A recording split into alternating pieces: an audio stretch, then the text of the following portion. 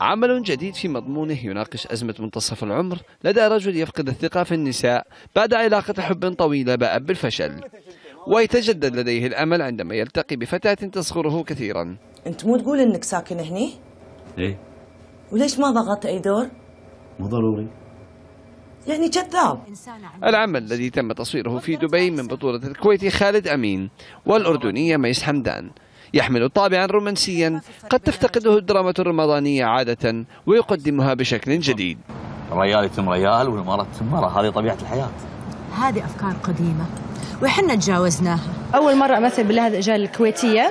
شخصية مرة جامدة وما- وتشتغل معيدة في الجامعة و very strict ورافضة موضوع الزواج لأنها عندها ال career حقها أهم مليون مرة من هي تتزوج. حب في الأربعين. ما شاء الله عليك أنت يعني ما تعطي أربعين ف... الله يسلمك. لا والله شوف أنا 40 يعني ليش ما أعطي 40 ال- آم، حب في الأربعين عمل يتكلم عن شيء جدا حساس.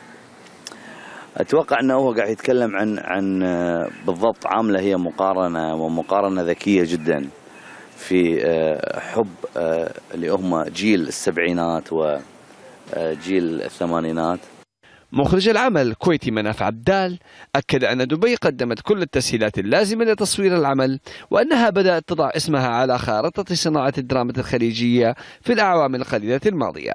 دبي يعني أصبحت عالمية اليوم. ما مو إحنا ككويتيين نتكلم عنها إحنا قاعدين عند أشقائنا. أنا مو حاسس في غربة صراحة. إني أكون هني في دبي الجميلة دبي المميزة المنظمة. حب في الأربعين هو ياخذ الجانب من هذا العمر اللي هو يختلف عن عمر المراهقة واللي أكبر منه. فإحنا شوي متعمقين بهذا العمر عمر الأربعين. حب في الأربعين. ضم قصص عدة عن الحب والرومانسية تداخلت في نسيج درامي هادئ وممتع للمشاهد. ماجد الفاسي العربية. أنا باكر مسافر.